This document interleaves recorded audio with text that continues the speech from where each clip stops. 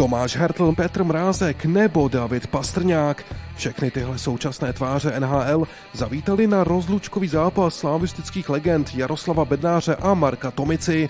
Narvaný Eden sledoval výhru výběru Slávie nad týmem Hvězd 12-6 jak si oba hlavní aktéři středeční večer užili předtím, než definitivně pověsí brusle na hřebík. Nádherná atmosféra, všem děkuju, ale nebudu si nic namlouvat, jako pomohli tomu i určitě ostatní účastníci, co tady byli.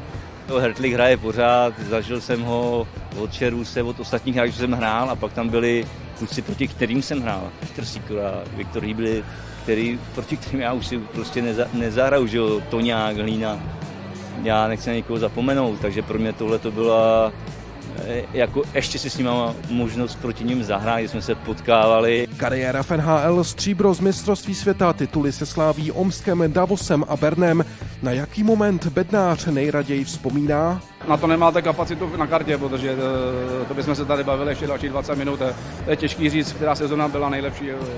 Jo, to můžu říct Švýcarsko, první start v NHL, eh, všechny tituly, jo, první start za Slávy, za chlapy, takže jako to, by, to bych tady řekl eh, něco a, a později, později bych si vyčítal, že jsem neřekl něco jiného, takže těch, těch momentů bylo hrozně moc. Na slávu do Vršovic dorazil i odchovanec Kladna a současná opora Kolumbusu Jakub Voráček. Jsem rád, že se dostal příležitost tady hrát, protože když jsem samozřejmě vyrůstal, když jsem byl malý, tak jsem na tu extraligu pravidelně chodil a to byly velký jména jak v extralize, tak po Evropě. A to byla velká rivalita, vlastně ty ročníky 8-8, 8-9.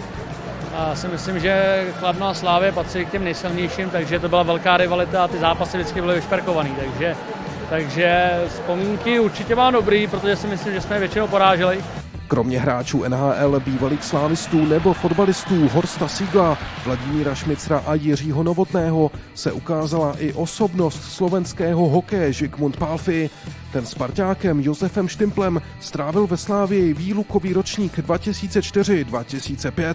Já jsem tu byl velmi spokojený na Slávii a strašně rád se sem vraciam, takže to je jedno, či to je Tomica, Jarda Bednár alebo hociaký hráč a já jsem tu velmi rád a strašně rád se sem vraciam. Zatímco bývalý útočník Los Angeles Kings, New Yorku Islanders a Pittsburghu hrál za Pražany v době jejich největší slávy, kdy patřili k naprosté elitě českého klubového hokeje a nastupovali v moderní O2 aréně, dnes se vrátil do skromnějšího prostředí v Edenu a v době, kdy klub působí až ve druhé nejvyšší soutěži. Je to těžké, no je to všechno o financiách a víme, jaké to je velmi těžké, či to je Česko alebo Slovensko. Takže keď tu nejsou financie, tak určitě netreba počítat s Extraligou.